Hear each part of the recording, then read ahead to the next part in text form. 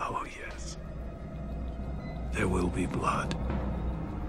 Greetings, my brothers and sisters of darkness. In the year of our Lord 2018, I had an idea. I wanted to paint some serial killers. I wanted to make it a big project, so I chose 8 serial killers with pretty high fame factor, and I got to work, and afterwards I felt pretty good about myself. So the years went by, I developed my art skills, and finally in 2022 I took a look at the old painting, and a voice said in my head, You suck! Okay, maybe it was not that bad, but still, I felt that I wanted to try the same motif again, now that several years had passed. First I made an underpainting with diluted oil colors, just to get the general shapes in order. In this process you can also use or you can skip this process altogether. I believe I did when I made the first version. The reason why I do this is because if you start to apply colors directly on a white canvas, they look darker than they actually are. So it's a good idea to first make an underpainting with some basic raw umber, or brown red in this particular case.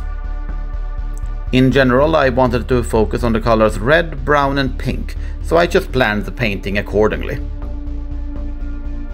When I was planning the original version, I was thinking of a human heart in the center. It was supposed to symbolize the heart of darkness, the core of evil, or something to that effect. I was thinking of putting the heart in a baroque frame in order to give it a semi-gothic look. It wasn't until the painting was actually finished that I realized that the frame took attention away from the portraits. So in the new one I skipped the frame altogether and let the heart sort of blend between the portraits instead. As for the background, my thoughts, for both of the paintings, was to make it look like blood in order to symbolize the violence of their lives. In the original, I just used an ordinary brush for the background and then splashed the colors in order to make blood splatter effects. For the new version, I decided to use a palette knife instead to make it look like it explodes from the portraits. It took several layers in order to get the feeling right, but in the end I think I got it how I wanted it. My first degenerate who had the honor of being painted was Richard Ramirez, the so-called Night Stalker, convicted of 13 murders and uh, additional assaults. My aim for all the portraits was, of course, to present the people as accurately as possible, but not necessarily photorealistic. Instead, I wanted to add small details to make them more gritty and gave myself permission to make changes if I wanted to. For example, you can see I'm adding more wrinkles than Ramirez has on the reference photo. I also put on sharp red on the eyes to make them stand out more and enhance the evil look, so to speak. And as you will see, I did it on all the other portraits as well. Next one, John Wayne Gacy, convicted of 33 murders, most of whom buried in his basement. This one started pretty okay, but after a while it became difficult to make a balance between wrinkles and the grittiness. The reference was a mugshot when Gacy was in his 30s, and he also was a bit chubby, which decreased the number of natural wrinkles. But his mouth and jaw had pretty rough features, so I decided to focus on that, as well as the few wrinkles he had between the eyes. Compared to the original painting, he came off as a little more intimidating, at least. Eileen Wuornos, one of the relatively few female prolific serial killers from the United States, convicted of the murder of six men, or Johns. Wuornos has a face with strong features, the sign of a hardened and difficult life. This made it a challenge to accurately depict her and making her feminine at the same time. So in this portrait I decided to not sharp her facial features too much, like the previous two, Instead of adding wrinkles, I decided to make the skin a little more raggedly with the palette knife. The first try I wasn't very happy with it at all. The skin was a little too raggedly, the colors didn't come off as I wanted, and she didn't look like the actual Wuornos. So I abandoned it for the moment and decided to finish it later when it had dried, and when I got a little distance to it.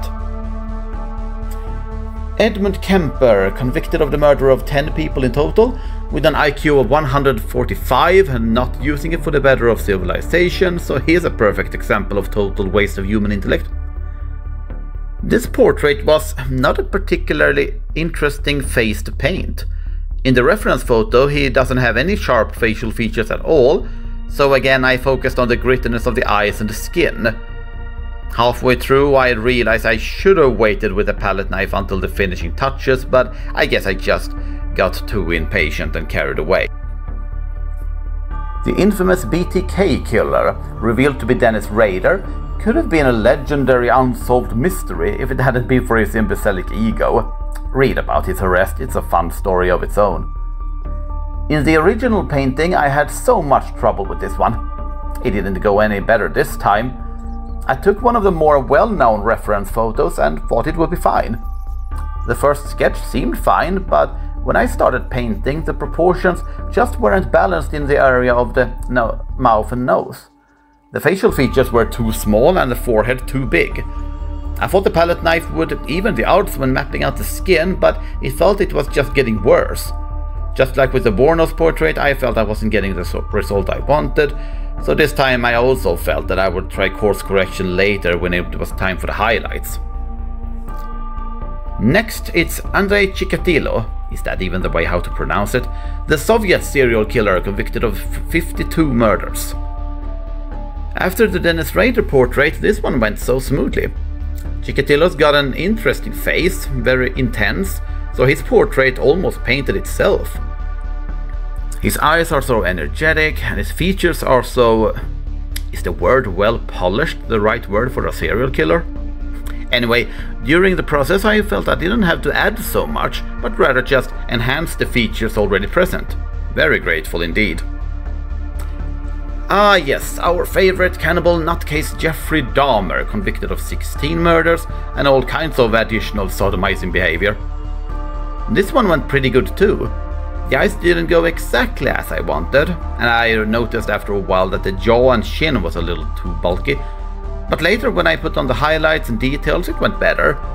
Maybe I should have made the eyes just a little bit darker, but later I added a little more light to the left eye, which changed it for the better. And finally, Ted Bundy, who confessed to 30 murders, not to mention several cases of post-mortem debauchery. I think I got the face pretty much how I wanted. I deliberately made his facial features stronger in order to enhance the evil look on him. Not too many wrinkles though, and the reason is that I felt that it wasn't needed for Bundy.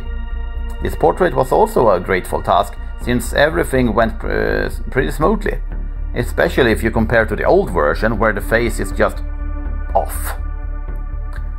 And finally, the highlights, the most satisfying part in any project.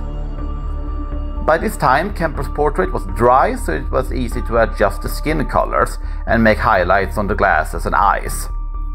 Same with Wuornos, adjusting some small shadows and the brightest highlights, and after that I was pretty satisfied with the end result.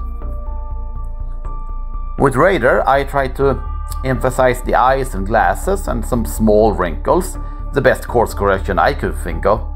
It still didn't come off exactly as I wanted, but better than it initially at least. Not too many highlights uh, I needed to add on Chikatilo, just some small, small, small details that hardly anyone would notice except me. Dahmer's left eye needed to be a little more clear, but apart from that, just some small details on the jaw and chin. With Gacy, I just corrected some shadows and some highlights to smooth the skin. And with Bundy, small, barely noticeable wrinkles that needed adjustments. And finally, it took about 13 hours in total to complete this. Personally, I'm more satisfied with the new version, it's more gritty, it encapsulates the dark aesthetics I'm going for, and it reflects in what direction I'm striving to develop my art. However, I do think the original version is a little more smooth in some of the portraits, and in some areas it was good that I wasn't carried away with the details. But overall I prefer the remake. So, what do you think? Is the new one an improvement, or do you prefer the old one?